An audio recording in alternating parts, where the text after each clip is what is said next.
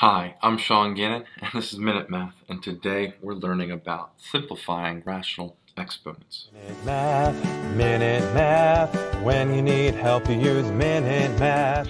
We're given this problem right here, 25b to the 6th power, all to the negative 1.5 power, and we gotta simplify.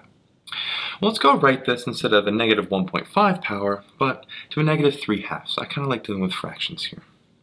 So we have 25 b to the sixth, all to the negative, well, 3 halves power here, okay? Now our rules with exponents, we, well, for multiplying that out, we're distributing essentially to both parts here, this being multiplied.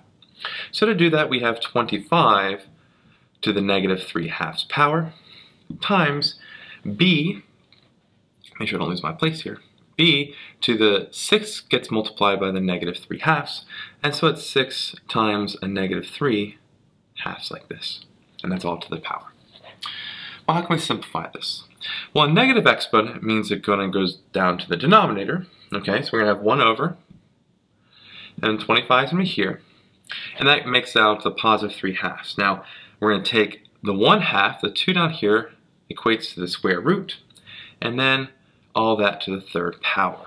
Hopefully you can see that, right? Square root is the 1 half and the third power right there.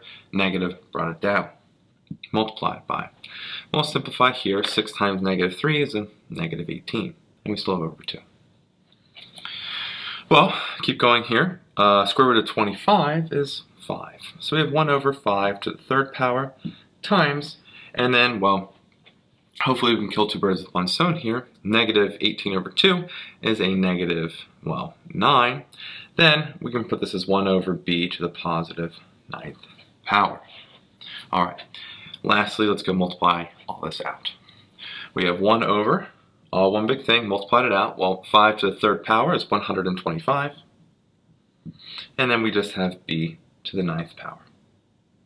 And so my final answer here is 100, 1 over 125 b to the ninth power. I hope the video was helpful for you. If it was, please subscribe to this YouTube channel and like this video. This helps us make more free math lessons for you and for everyone else. So as always, thanks for watching. Minute Math, Minute Math. When you need help, you use Minute Math.